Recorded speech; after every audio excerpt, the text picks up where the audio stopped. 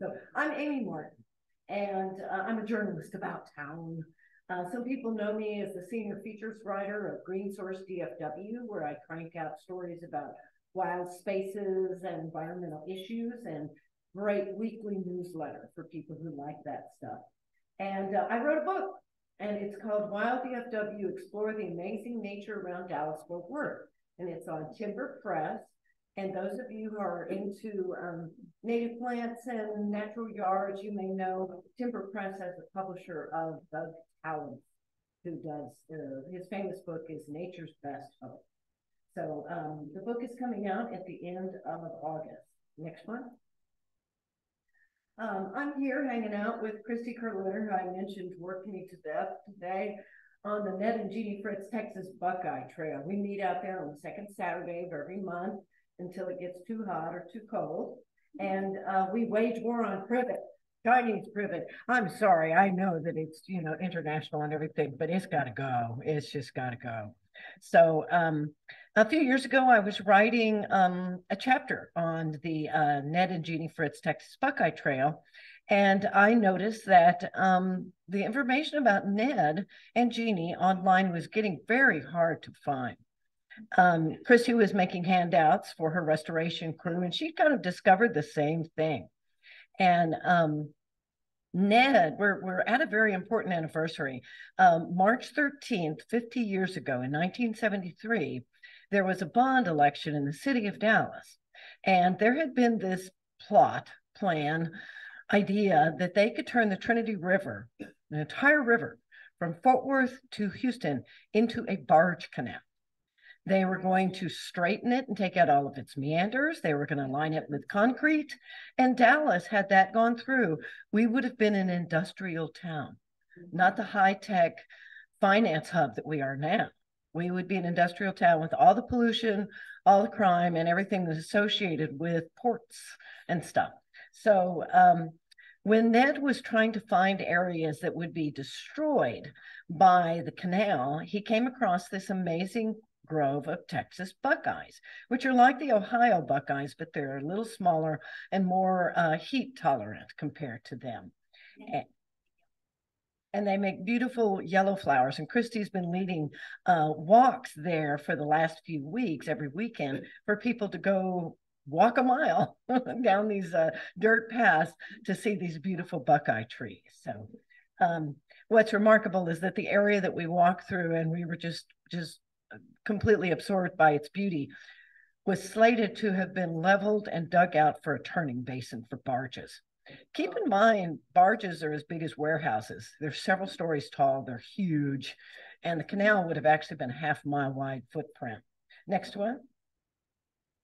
So we did notice that, that information on Ned was getting hard to find. He was most active in the 60s to 80s.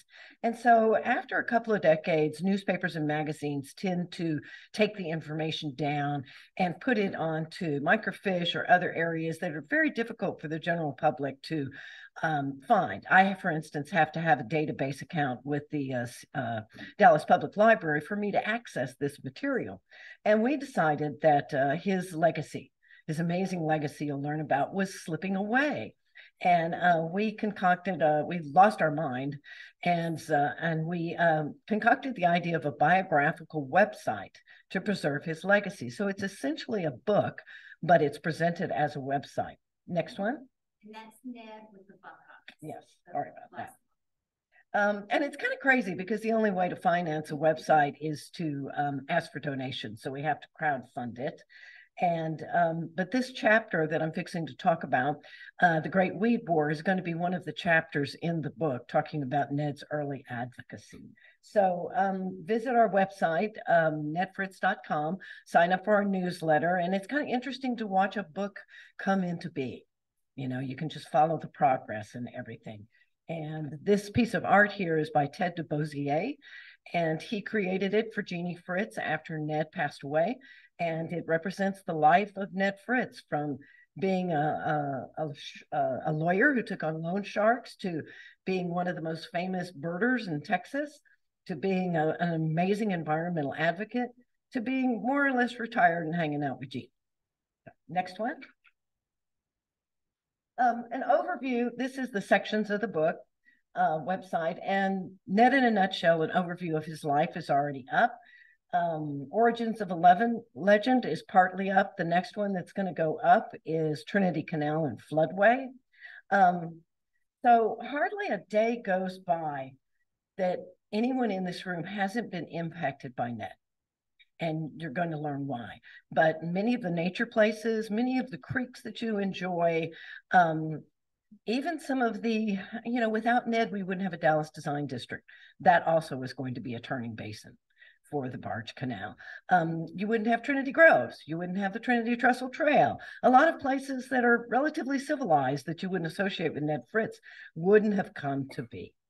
So, um, the uh, but also places na- uh, statewide even nationwide. But the Big Thicket, you've heard of the Big Thicket National Preserve. Ned made that happen. Uh, all the wilderness areas in East Texas, that is also Ned. A number of state oh. parks that you enjoy and national parks you enjoy are also because of Ned Fritz. Next. But today we are going to tell you the story of how in the early 70s, a lawyer who became Texas's most noted environmentalist transformed into the nation's best known native plant advocate. It's a story of a man who loved plants, all plants. And it's a story of his parcel of land from which all his other land saving activities sprung and what lands he saved. Next. As the first acquisitions director of the Texas Nature, uh, the, the Nature Conservancy of Texas, he created 17 preserves right off the bat. He and Jeannie went on to found a group that became known as the Texas Land Conservancy. They are up to 150,000 acres that will be preserved in their native state um, for perpetuity. Texas is extremely low on public land. Less than 5% of Texas is public land. Most states have a much higher percentage. So it's up to private land trusts to preserve that land. Um, his organizational acumen and legal uh, strategies is what helped create the big thicket because he had to take on a lot of big timber companies who wanted to level that and put in oil and gas wells and things like that. Uh, he is responsible for creating 36,000 acres of wilderness in the East Texas National Forest. And that's just the short list. Next. It all began with a three acre lot in North Dallas on the bucolic Cochran Chapel Drive Road near Northwest Highway and Midway. So we're talking about kind of in the middle of Preston Hollow, very chee chee. And uh, as a lawyer for the disadvantaged, he took on loan sharks. We're talking mafia types. His life was threatened. It was a very dangerous thing that he did. And he was only in his 20s when he did this. One of the few people who got out of law school and got a job immediately. Um, he was such an ace lawyer at this, at taking on loan sharks, that um, he created, he filed dozens of what are called appellate cases. And it created a body of national law against usury or charging of ridiculously high interest rates that stands today that's his compilation uh, that's now in every law library in the country. Um, and he's doing all of this while he's raising four feisty daughters with his wife, Jeannie, who herself was busy being an activist for women's rights with the League of Women Voters. In fact, them together is one of the reasons why women got the right to hold property and hold bank accounts in their own name in 1974 we didn't get that right until 1974, and we have this couple, and uh, Louise Raggio from First Unitarian is the reason why. Next. Ned remembered Cochran Chapel Road as a place where all the kids from um, SMU, where he was in law school, would go down there and they would have picnics. There was lots of big trees, there was wildflowers, and with his early success as a lawyer, um, he and Jeannie were one of the first to move to Cochran Chapel. He um, bought a lot. He built a home to suit his own eccentricities, emerged with the landscape, had huge back windows for viewing birds, and the yard was his solace, you know, and he vowed to keep it just like Native Americans kept it. And Native Americans really liked camping along Bachman Creek. And there was a set of um, high bluffs that we now call the Guernsey Cliffs, right off of Northwest Highway. And they used to camp right by that, and they would scale the cliffs and they would be able to watch for invaders. Next. But there were compromises in any marriage. And Jeannie wanted a yard with short grass because she had four daughters who had nice clothes, and she didn't want their clothes to be all messed up with with, with native plant seeds and stuff like that. Ned's uh, patch of prairie was about 50 by 100 feet, and it was next to the road where few of the trees grew. So between it and the house, Jeannie was granted her little patch of lawn, and uh, all else was forested. However, Jeannie had to mow it because Ned didn't want to have anything to do with that. It was it was a bit contentious. It kind of angered her to have to lobby for this little piece of lawn. And so Ned worked up a contract hammering out the details, how much she got, how she had to, you know, maintain it and watch out for his trees and stuff like that and maintenance details and they had to sign it. They both signed it. Did I mention he was a lawyer? Next. Said Jeannie, it was one of the few things that I later really resented. It was 1951 and I was very young. I just went ahead and said, okay, all right, I'll sign it, whatever. Um, I, she said, I didn't mind leaving the property in the back as wilderness because that's where the creek was, Bachman Creek. Um, but I did want a traditional yard from the uh, house to the street, and he didn't want that. He wanted it all wild. Uh, there were wildflowers that bloomed, and Ned loved those wildflowers. Finally, someone in the neighborhood complained to code enforcement people that it was dangerous leaving the vegetation wild. Ned said, I'm not going to comply. I'm going to fight it all the way to the Supreme Court if I have to. Lawyer, remember? Lawyer. Next. Ned wrote in a Dallas Times Herald piece, uh, uh, article, op-ed, uh, I was fortunate enough to find a natural area to live in, and I have been able to maintain it despite attacks by my own city. It hasn't been a fight between me and my neighbors. I never heard a single neighbor who participated in that. I'm not saying that one or two of them wished that my yard looked like theirs, but they did recognize my right to keep my yard as I wanted it, just like they kept their yards as they wanted theirs. They actually like the flowers that bloom in my yard in the spring in various seasons, but don't bloom on their lawns because their lawns are St. John, uh, St. Augustine or Bermuda grass. So this is a letter of support for his from his, one of his neighbors. Next. By July uh, 1967, Ned's Prairie received its first citation from the city of Dallas, and the Great Weed War had begun. Uh, his opponent, L.F. Walker, a superintendent of weeds. That was his title. A City of Dallas 18 year employee, and he was strictly by the books man, who Ned would learn later knew very little about plants in spite of being superintendent of weeds. He said the older the older enforcement inspectors are the hardest to deal with. With younger ones, I just explained the, the wildflowers, I explained the native plants, how they're feeding the birds, how they're caring for the wildlife, and they don't write me up for anything. They just go. But now we have this old guy who's like just a few years older than Ned, and uh, he tells me my lawn doesn't look like those down the street. He's hounding me. Next. It wasn't like Ned had nothing to do but fight the superintendent of weeds. Ned and Jeannie were in the process of forming Texas Committee on Natural Resources to take on some of the state's biggest environmental fights.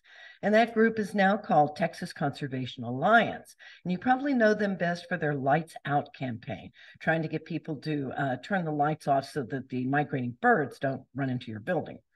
Um, he was also in the midst of finishing up this book here, the Texas Natural Areas Survey, which chronicled all the natural areas across the state uh, that he felt was worth saving. This book was used for decades by uh, state agencies, municipal governments, land trusts to determine what they wanted to preserve. So there are many of these parks in Dallas and North Texas that you enjoy started out in this survey. And that's how they discovered that maybe we should save Piedmont Ridge, maybe we should save the Bonton Woods.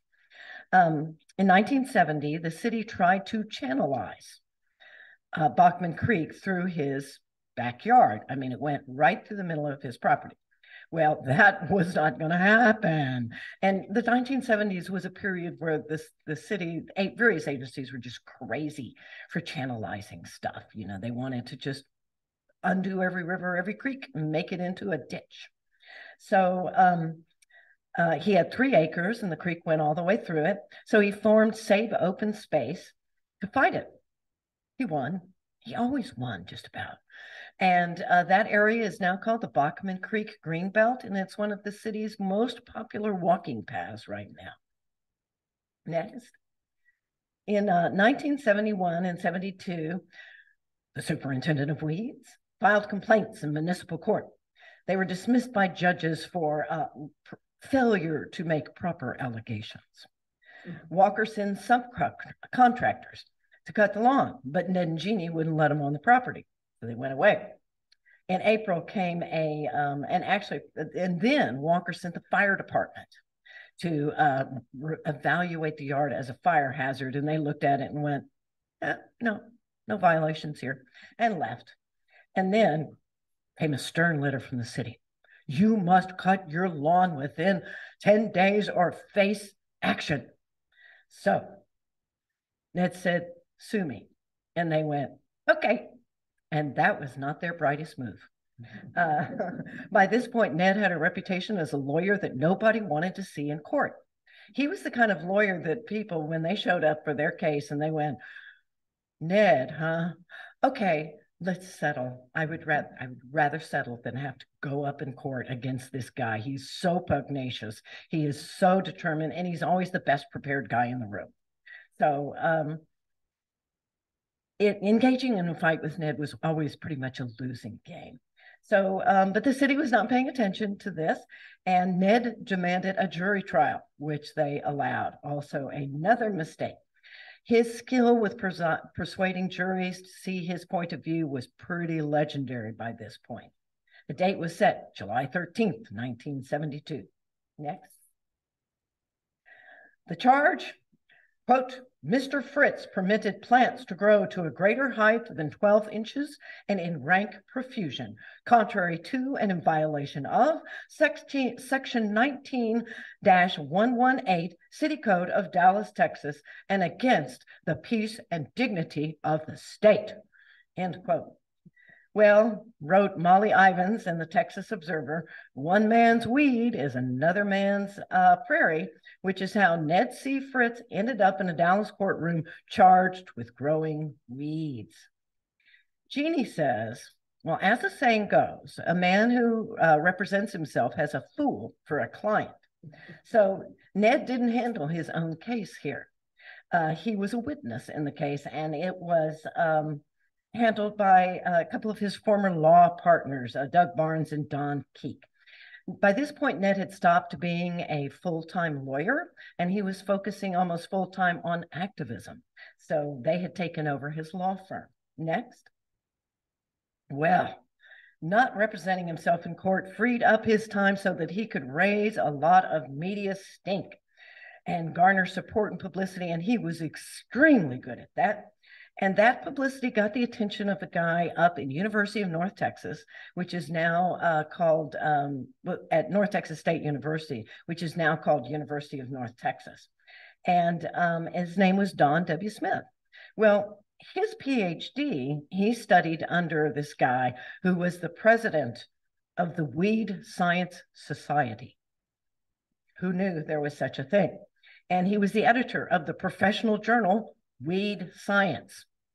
So back then, they didn't call them native plants, they just called them all weeds. So, said Smith in his letter, one of my learned colleagues, formerly of the University of Wisconsin and the Food and Agriculture Organization of the UN, is now at the East West Center in Hawaii. He has traveled and studied the weeds of mankind the world over. maybe y'all could work that into your friendship force stuff. Let's go study the weeds wherever we're at, not just the culture, go study the plants where you're at. Um, and uh, he has compiled a list of the top 10 weeds of the world. One of them is Bermuda grass. Next, a jury panel was formed from 12 homeowners, 10 of them male. Some of them owned real estate. All but one were over 40, um, or six home, anyway. Uh, Ned noted that none of them were interested in environment or nature. They've whittled that down to a jury of four men and two black women, four white men and two black women, and the trial was on. Uh, Walker fixated on and defined weeds as broad-leafed plants. So we're talking dandelions and stuff like that. Um, he claimed that weeds harbor rats, mice, mosquitoes, rabid animals, and criminals. No snakes? We're not going to pull the snake card for this, you know?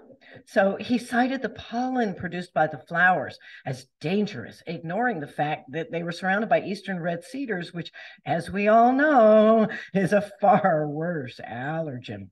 Um, and he showed his lack of knowledge because he listed among the offending plants Texas wild wheat, which made Ned indignant. There is no such plant. It's Virginia wild rye. And um, Upon cross examination, Walker admitted that he had been to the Fritz yard 25 times. And, well, as a matter of fact, I haven't seen any rats, mice, mosquitoes, rabid animals, or criminals lurking in the tall grass. Next one. Ned's um, attorneys presented Walker, the weed guy, with numerous definitions of what a weed was defined by Merriam-Webster uh, dictionary. Walker chose the one with the word obnoxious in it. Uh, the city called Walker's assistant um, and a um, Dallas Parks and Recreation horticulturalist to back Walker up. Well, the defense called in the famous Patsy Swank. Who remembers Patsy Swank? She was the arts and culture reporter for Newsroom, which was this famous news show at KERA. And uh, she spoke of the yard's beauty and uh, how it was not obnoxious to her. And she um, noted that it supported birds, butterflies, and wildlife. Next one. So the defense showed a film of his yard made by KERA, and this is it.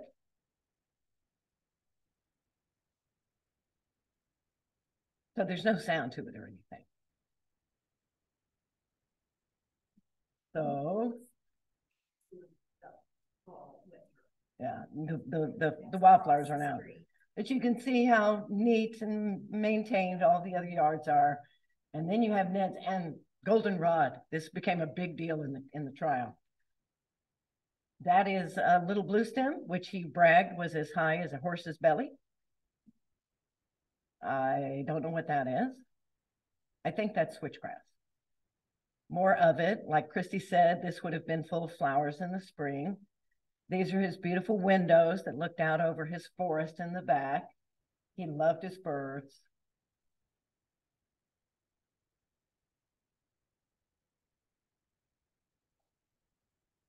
Imagine being in Highland Park and the sister next There's his beautiful windows. And his chair, that's his office, basically. He loved his birds. There's his, his bird bath right there. Okay, we got it. Next one.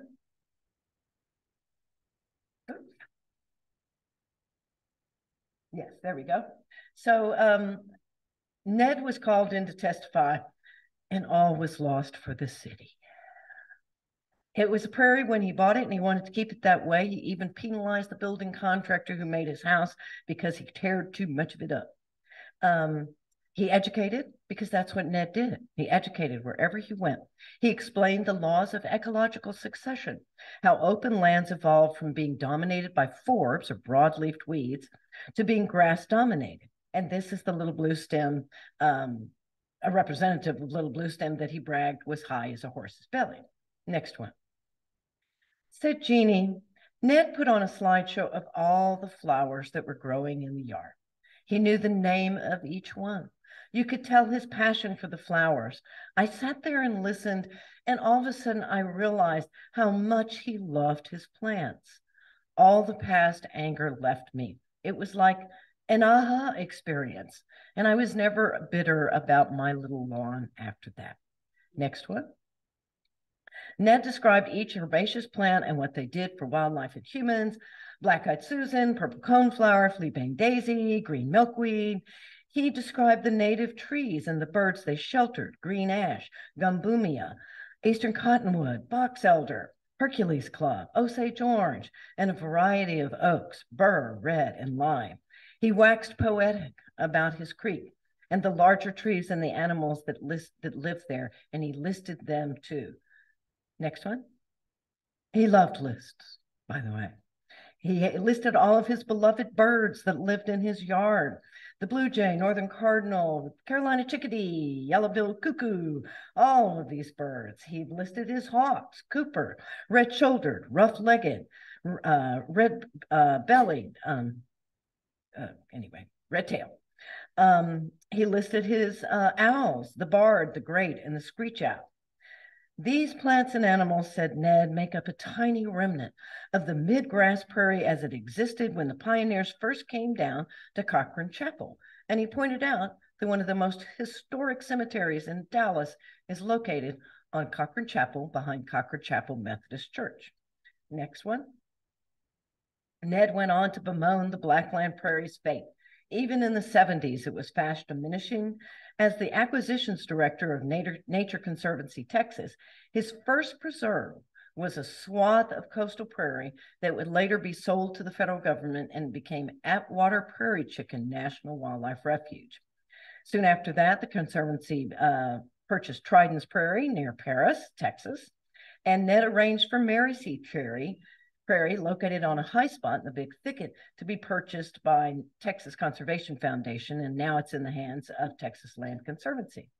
Next one. Ned's attorneys brought in Gary Morton, a botany instructor at Florida Junior College, who'd done his PhD dissertation on goldenrod. Ned was famous for finding experts that would back up his case.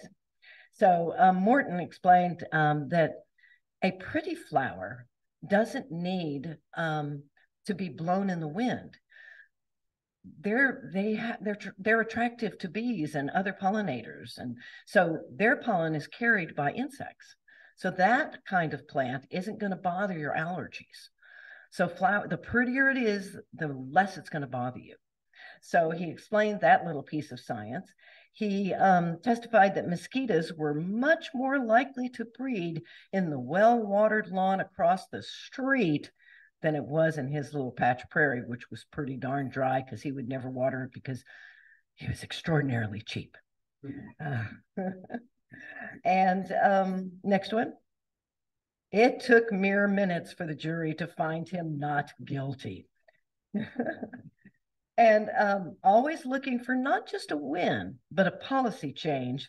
Ned already had prepared in legal, legal language an amendment to the weed ordinance of Dallas, which he presented to Walker right there in the courtroom.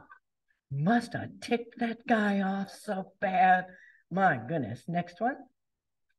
Said Jeannie, Ned was just way ahead of his time he convinced the city to set acreage aside for wildflowers at the end of Cochran Chapel. And it's just a little prairie. And I noticed that when I went down there one year, it was aflame with Indian blanket and bee balm and purple thistle. 22 species of, of uh, wildflowers grew in this wild place. Um, any there's a thing called the law of succession and that means that you start with forbs then you go to grass then you start going to brushy plants and then you you end up in trees so um, Cedar Elm and Privet started encroaching, and they had to work with the city to explain the loss of ecological succession and say that, look, if you want this to be a wildflower prairie, you're going to have to mow it once a year because you don't have buffalo running through that would normally have eaten all the little tiny trees. So you're going to have to mow it instead. And uh, he brought in, of course, a nature conservancy expert to ex- who managed the prairie, uh, Clymer Meadow up in Hunt County, to explain this. And she says, and now there's a little sign down there that says Wildflower Prairie. Next one. Remember Steve Blow? he was a big Ned fan. Um, even 20 years later, Ned was inspiring coverage about his yard. In 1990, the Dallas Morning News um, columnist Steve Blow wrote, about this time every year, I'm sick of when I'm sick to death of mowing my lawn, I begin to think of Ned Fritz. In fact, I begin to obsess about Ned Fritz. His name comes up as a crazy mantra as I push that infernal lawn mower back and forth, up and down, around and around. Ned Fritz, Ned Fritz, Ned Fritz. Why can't I be like Ned Fritz? He's, his is the ultimate low maintenance landscape. So while I push my lawnmower back and forth for the millionth time, I grit my teeth and think of Ned, Ned the Brave, Ned the non mower. Next one. Steve uh, asked Ned for a tour of his famous yard.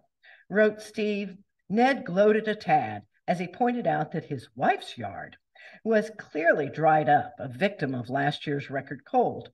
And that brought us to one of Ned's gripes plants prejudice. Ned said, settlers came through here and would call certain plants weeds. Native plants were degraded. Steve continued, once he mentioned it, the Vernonia did look rather pretty, kind of tall and delicate. So I began to see that it's a matter of perspective. One man's weed is another man's Vernonia. The column ends with a discussion on the virtues of snags, brush piles, and leaving standing stems for pollinators and uh, uh, to lay their seeds, uh, eggs in, and leaves for mulch. Steve concluded, because he's a funny guy, and the most important thing of all, you don't feel guilty. You're not napping on the couch. You're saving the planet. Next one. Native plants, pollinators, and the ecological costs of lawns prairie preservation, pollinator importance, leaving the leaves, urban wildlife habitat, and green belts. Standard talking points today. Ned was extolling these things 30 to 50 years ago. And for his vision, the Native Plant Society of Texas bestowed on him the Charles Leonard Weddle Memorial Award in 2000. They caught up. Next one.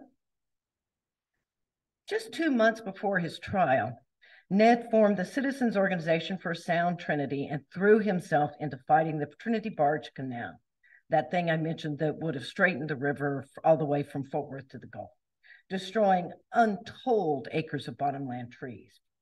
Uh, business and political opponents, proponents of the canal dismissed Ned as the crazy guy who wouldn't mow his lawn. That proved to be the biggest mistake they'd make. He won that case, by the way, that fight. So we hope, um, I hope to have entertained you with the story of Ned's Great Weed War. His life is really pretty inspirational. What one mankind, what man, one man can do. And indeed, many of the activists of today draw their inspiration and their playbook on how to win these fights from Ned. Um, we would be ever so grateful if you visited our website, nedfritz.com. And if you feel compelled, give us a little money and I'm happy to answer any questions, not only about Ned and native plants, but if you're looking for a nice place to walk, even a fancy place in a paved trail, I can tell you where to go because, like Ned, I know all these places. All righty, thanks. And my my my hair is falling down. There we go. Uh, when does your book come out? It comes out on August um, 29th. And um, it's a really neat book. It looks like a little tiny coffee table book. It is full of 350 photos, color, all of them, uh, taken by area naturalists. So they have a very different perspective on things. Uh, the first half of it is um, natural history and ecology, and some other really interesting topics like how to manage your backyard for wildlife, what's active at night, and how to have fun in the moon. Um, there is a little thing about citizen science where they these apps where you can go out and identify plants, and scientists use those observations to make policy and study things. Um, the middle section is a field guide of native plants and animals.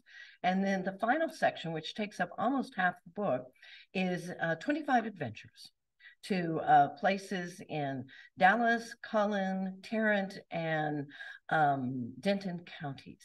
So it covers everything from really wild trails that uh, I call them go wilds.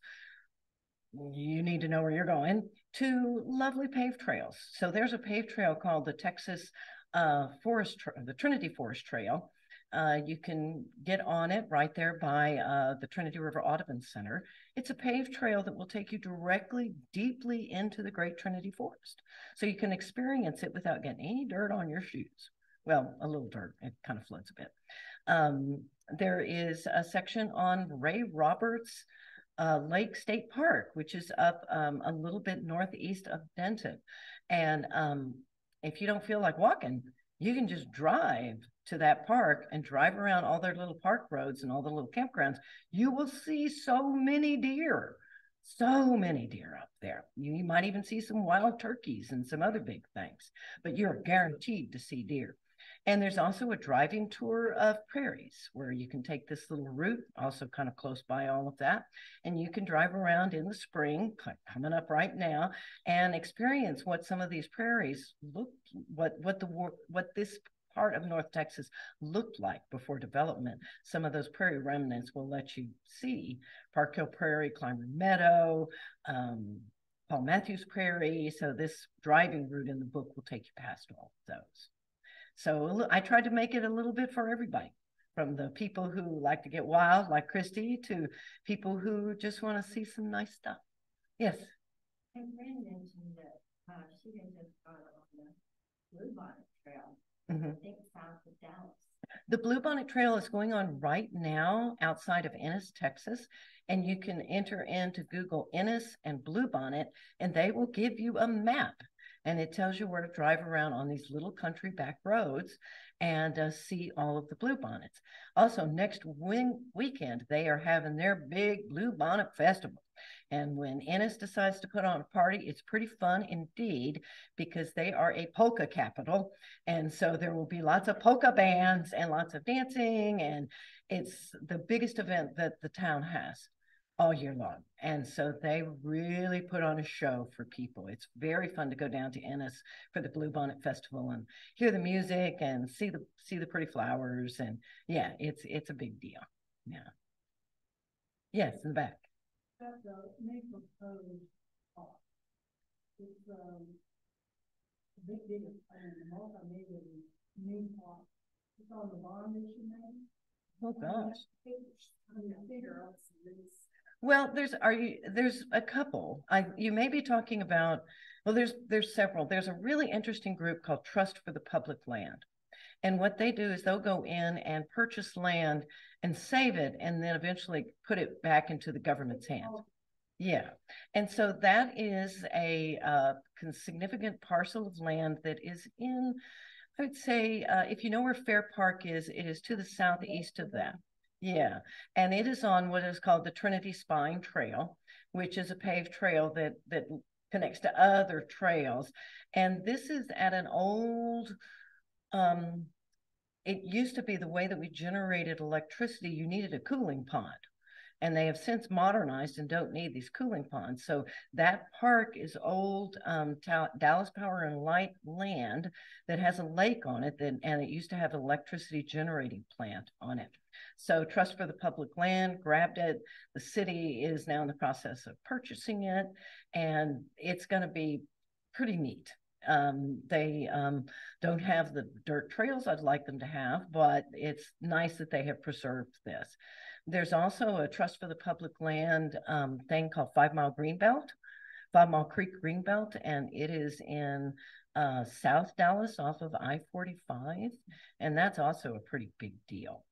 Um, and then the city of Dallas purchased what's called the Fin and Feather uh, Club. They're in the process of purchasing that, and that's a big uh, lake and heavily forested region that is almost to the city of Hutchins. And it's very wild, and eventually that'll be mm, 200 or so acres added to the Great Trinity Forest. So um, some good things are happening. We're not we're not saving land as fast as Fort Worth, but we are getting out there and, and making sure that there is some parklands preserved. Yeah.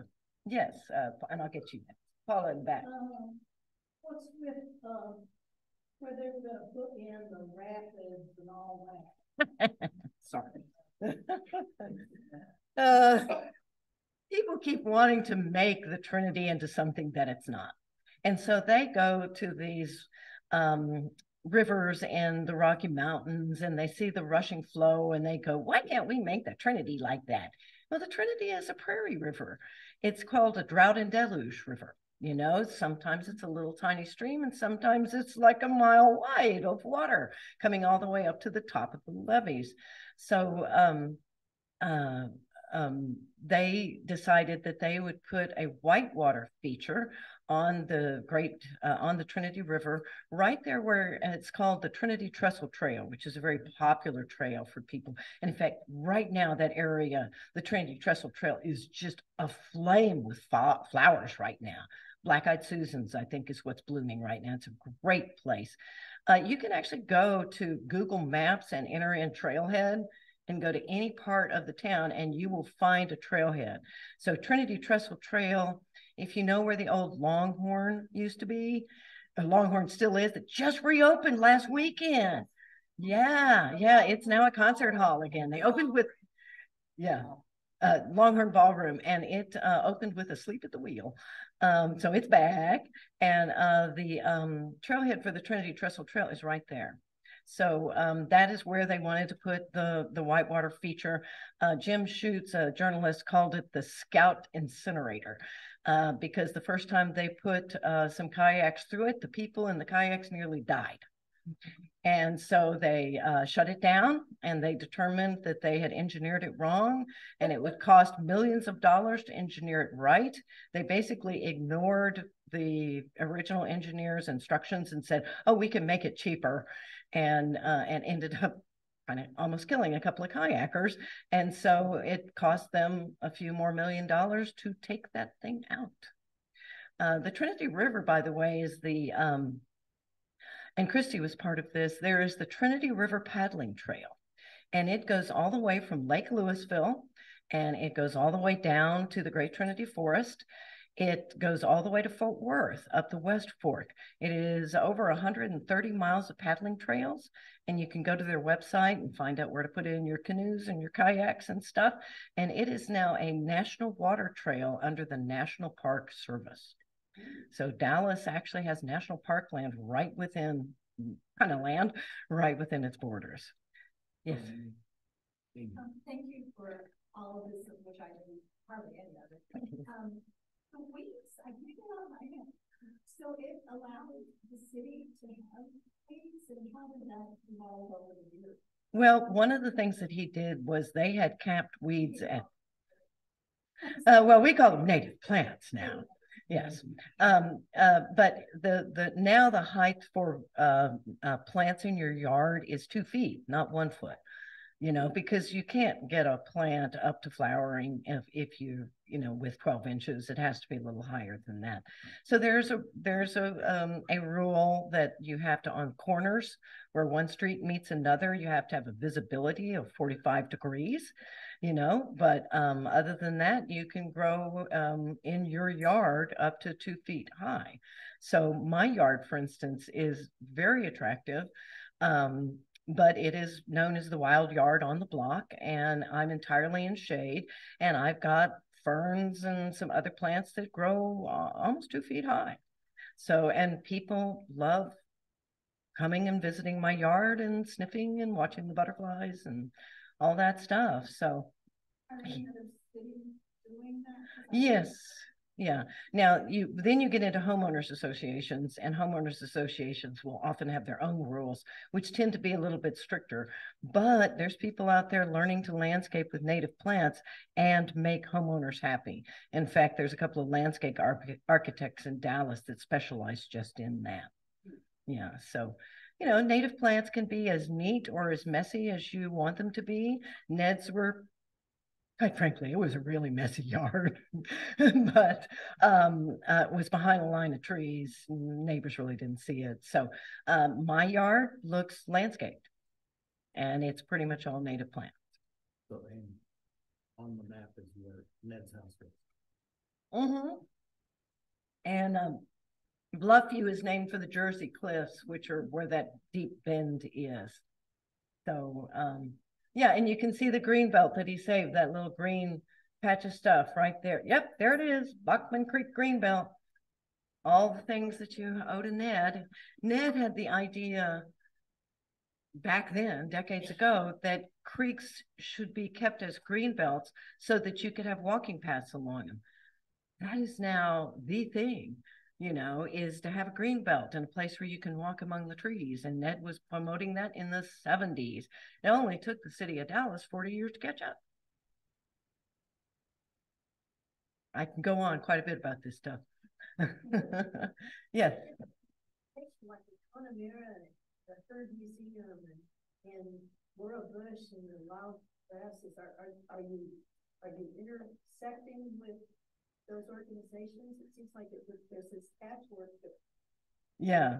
Um, there, there is an organization called the Native Plant Society of Texas, and there's a Native Plant Society in every state and they pretty much do the coordinating. So you can go to the Native Plant Society of Texas website, find the chapter near you. That chapter will have a list of plants that grow in your area, and then they'll also give you a list of places where you can buy those plants.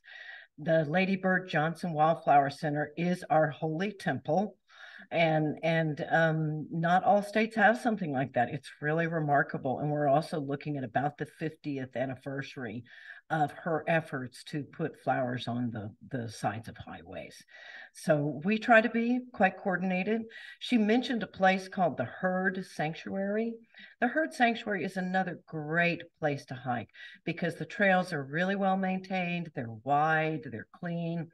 It costs $5 to get in, but that $5 kind of keeps out people that have bad intentions. You know, you also have to walk through the visitor center to get onto the trail. So they kind of look at you and make sure that you're there and doing good things. And those are really easy trails to walk. Tons of wildflowers, prairies under restoration, forests. They have this uh, wetlands with this amazing boardwalk that goes right through the wetlands. So you can get really up close and you can stand on one of the boardwalks and you can watch this heron rookery on the other side of the wetlands.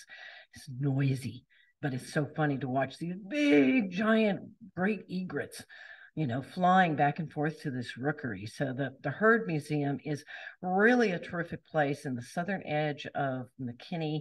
And they have a natural history museum, which is a total gas. You won't believe how big that thing is until you get into it. They have crammed a lot of stuff into one place.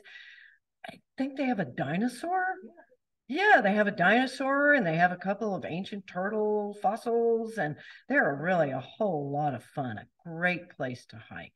Um, if you've got somebody who likes hiking only dirt places, or you've got a woman who wants to go hike someplace alone, I would recommend this place called LLELA. We call it LLELA. It's Lake, it's Lewisville Lake Environmental Learning Area. And it uh, has 12 miles of trails, but you have to pay $5 to get in. You have to go past a gatehouse. And the woman who runs the gatehouse, she'll give you the evil eye, you know. So she she pretty much looks at every guy who comes in and is like, what are you here for? You know what are you doing? And you know so it's a really safe place to if women are worried about hiking alone it's a very safe place to hike alone. And there are some short lovely trails in there and they also have a boardwalk trail called the bittern marsh trail where you can really get up close with birds and the whole pond will go uh, into um, lilies about july and it's really spectacular to see. Big big basketball sized flowers. And it's spectacular. Yes. Are all these places you mentioned in your book? Yes. Finding all these in the book. Yes, I think I'm done. Thank you so very, very much. I...